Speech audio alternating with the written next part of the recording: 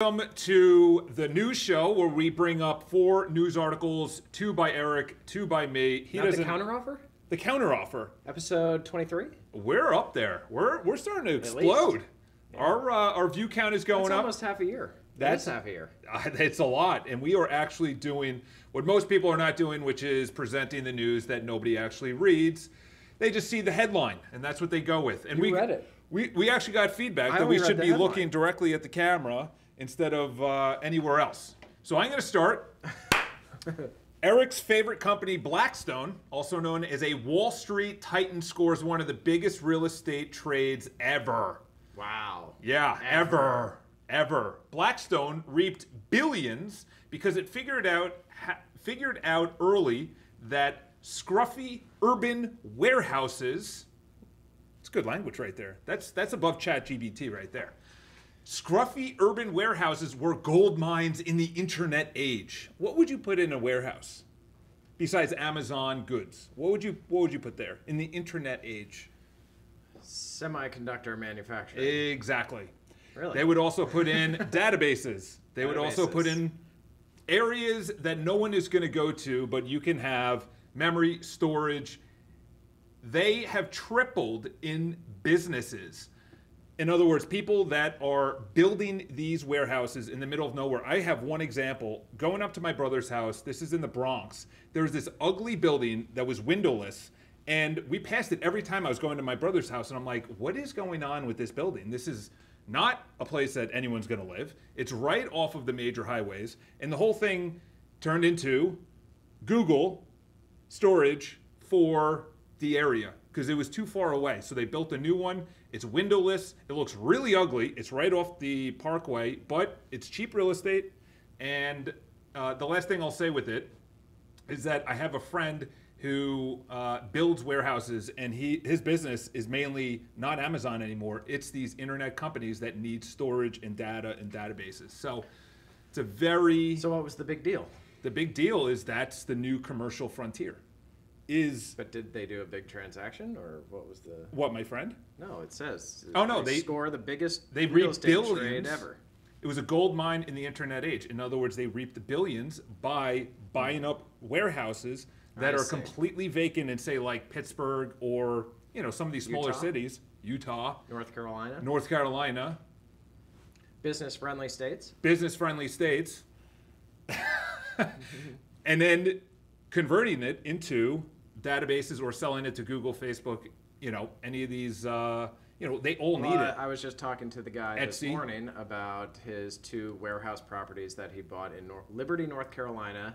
20 Never heard of it. Twenty years ago. Yep. And uh, he was telling me about all of the business that's happening around there, the highways that they're building for all Yep. of this business. But Toyota is building a EV chip manufacturing place just down the street, uh, less than a couple miles away. They're also building airplane parts at another warehouse. So I yeah. see a lot of manufacturing coming back to the United States. I see a lot of it. They because of COVID and they had all the shortages. They couldn't.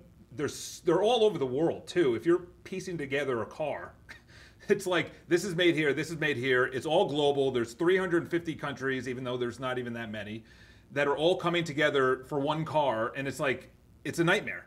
If one part or one wheel or the steering wheel is delayed in Hamburg, Germany, the whole car cannot be built. So, Would you like a? second article? No? You don't want my tangent.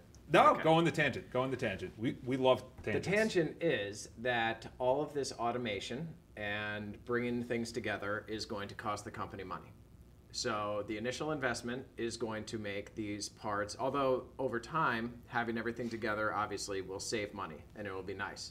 But to, like, for instance, there are a lot of services right now that are charging more because they're incorporating AI. So what does that do? Not only it makes less employees that they don't need because of artificial intelligence, they're actually going to increase the price of the service because of artificial intelligence. Yeah, well, the amount, yeah, and the amount of jobs that are going to be needed to get to this high level right now is going to be extraordinary. It's the, it's going to be a, a boom as long as you can capture the right talent. Those companies are going to explode. you know. Okay, my article. We're done with yours. Okay, perfect. Manhattan's luxury co-op market has its best week in a year. Woo! Wow. Well, we just had our top condo week, right? A couple, Oh, or maybe wow. I think no, no. Is it the same article and you just took was- the different it was paragraphs? just luxury sales. Luxury sales, Luxury sales. yes. And Yeah. uh, this time it included co-ops. Co-ops had their best week. So luxury, as we discussed last time, was uh, four million and up. So the apartment has to be sold for four million and up to be considered luxury here in Manhattan. It's weird. It used to be five. Huh. I don't know. Well, co-ops accounted for 11 of the 32 luxury contracts signed in New York City. Uh, that is not surprising because condos are always going to be commanding a higher price. So there you go. There's going to be more condo sales than uh, co-ops. Also, you get a discount for buying co-ops Yep. usually off the purchase It's like price. 20, 25% less. Yeah, yeah, give or take, and pay less maintenance usually. Yeah. So it is, uh, if you're qualified for a co-op, go for it. But 11 out of the 32, which was pretty interesting. So condos still outsold co-ops, but it was the largest co-op sales week since April 25 to May 1 of 2022. Wow. Yeah. Well, okay, for the week. Okay. Wow. Yeah. Where 13 co-ops were signed back then. I would love to know how many are cash. I would love to know how many are financing. That would be an mm, interesting That would be statistic really because you, interesting to know. Eric, you brought up an article earlier this year, probably on episode nine, about how many cash deals are happening. Wasn't it over like 50% That was in April. in April? So See, this is the, the problem with this guy is he just remembers things. Okay. Uh, where do you think Uh-uh. the Upper East top Side. co-op was? Uh, top co-op, Fifth Avenue, or yeah, or Da, ba, Yeah. ba. Yeah. You were right. Upper East Side, but not Fifth Avenue. Park Avenue. 740 Park Avenue. okay. Uh, if you don't know that building, it is a storied building. They actually crazy. have a great book about it. Only celebrities live there. It is like one of Literally. the most tight knit, and it's not like celebrities. It's like heirs to you know Yeah. Heinz type Yeah, of people. they expect that you have money. Oh yeah. It's who you know. Well, of course. Yeah. I don't even. And by if money, you it's have the money, hundreds you of still aren't going to be able yeah, to get in. yeah. You need Uh, to know the right. It people. was a duplex co-op for 23.75 million. Four bedrooms, tall ceilings, fireplace, and a library. duplex.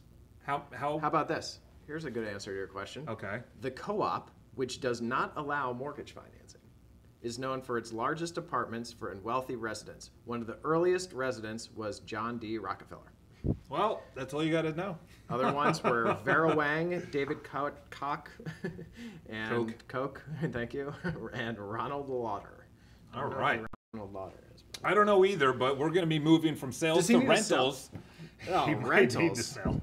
Yeah, rentals. But why is pricing being driven to high-end co-ops? Here it is. One of the most expensive real estate markets in America. Where is that? Right here. Right here. Right here in the great city of Manhattan. That's Is not it a city. the most expensive, or Uh, it's probably close to San Francisco, but the problem is, is that they now encompass all of New York City. if definitely you did just San Manhattan, Francisco? I don't know. It's, no one's buying out there. You know, send us all your San Francisco referrals, please. so rents are up in April from last year, almost ten percent from last year. And last year was a crazy year for rentals.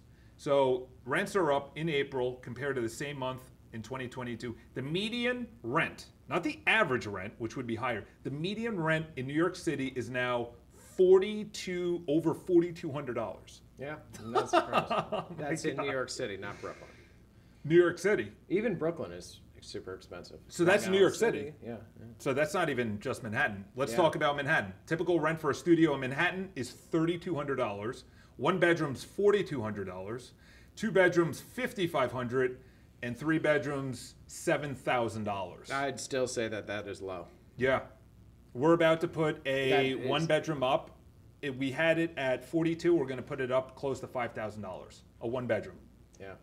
I That's mean, how much it increased in one year. If it's in a 42 good to neighborhood, it's very 5,000. hard to find a one bedroom in a good building. But for what- less than five thousand dollars? What have we been saying every single show?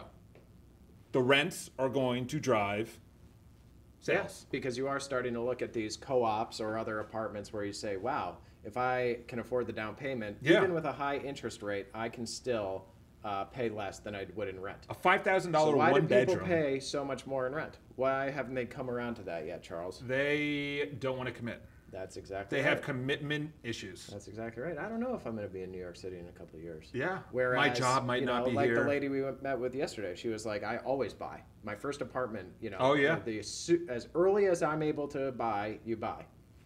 It was funny too. She looked at us like an idiot. She's like, "Why would I make someone else rich?" Yeah. She's like, Sure. "I want to make myself rich," and now we're sitting in a beautiful home that you know we'll get in this week and uh, eventually sell. Yeah. Stay tuned. You'll see that video on YouTube and you know, LinkedIn you know what this and Fitz, Facebook. You know what this article is going to be. Oh boy, something about New York City choked by unhealthy heavy smoke from Canadian wildfires. Oh my god, dude! You're kidding. oh my god, you're really bringing this up. it's the most talked about news in New York City. I listen. I You're the only person who's like, I "What is no this? Yeah, oh, is there something on fire around here?" oh my god. Something is going on with the atmosphere Oh. during my run this morning. I received 30 really to 35 around here. DMs about what are you an idiot? And I was like, I haven't watched the news in 10 years. I don't know well, you don't even on. have to watch the news. You walk outside. I know. I was like, is the sun. Well, the reason that if you actually open up the weather app, it says that the air quality Yeah. is worse than. I didn't understand. Alexa was voluntarily telling me that when I asked her, "Is it going to rain today?" and she said the air quality is going to be poor until Thursday, and I'm like, Thursday. for what? And oh, how do you know that? Yeah, I don't know. You know, how do you know it's only till Thursday? Well, that was it. Well, everybody knows about it, so I guess we don't really have to comment on it. Yep. As Anyone my that client follows the said, news, wear, yeah, wear your mask. Yeah. Bring them back out. it's Did you on throw Twitter. out all your masks, or do you It's on still have a couple left? It better be trending on Twitter. That's Oh, all I have to say. Yeah.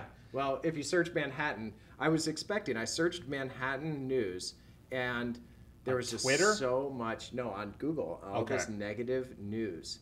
That's all it uh, is. It's Was all on- it- negative. It, wasn't even about the wildfires. Yeah. I was thinking that that was going to be the top thing. Yeah. And it was about like you know. Nonsense. This is the funny thing is, we just talked about New York City. Everyone outside of New York City makes fun of New York City. Okay, our rents are crazy high. Co-ops are selling at record prices, and hotels are slam jam with tourists. So, as much as people want to say, You know what? Side note then. Side note. Okay. Because I was going to pick this article, but I didn't like it enough that It wasn't there is positive. a Hilton hotel in San Francisco where they stopped paying the mortgage, seven hundred and fifty million dollars, because they're not able to. I, I don't know exactly what the excuse was. I, I read a bit of it and I was like, yeah, this isn't for me. yeah, no, Come That's on over. negative. York. You can't even Yeah, stay. No in a negative Hilton. news here. Yeah, exactly. Yeah, stay here at five hundred dollars a month a day at uh, Times Square. I looked up a couple of hotels. There's a hotel right behind here. Very expensive. Yeah, the Knickerbocker, which is right over the here. other uh, housing uh, solution that we came up with either. $125, $125 a day. Oh yeah. Maybe we'll talk about that next week. It's good that you guys are tuning in. Views are going through the roof. They're all over the place when it comes to audio versus video. I think uh, audio is uh, preferred by a lot of people. They listen to us on the run. So, four news articles every single week. We go live. Any articles you want us to talk about, they got to be positive. That's it. No like negative news, uh, you know, and especially Manhattan, it's going through the roof right now with pricing all over the place between rent, tourist, and buying. Send us an email, a DM. Tell me I didn't know about wildfires. I got enough of those, so please don't send me those. But Did you know there's a wildfire? oh my God, they were like mad at me. They were mad at me that I didn't know. I'm sorry that I did not know. All right, so enjoy your week, and we will talk to you next.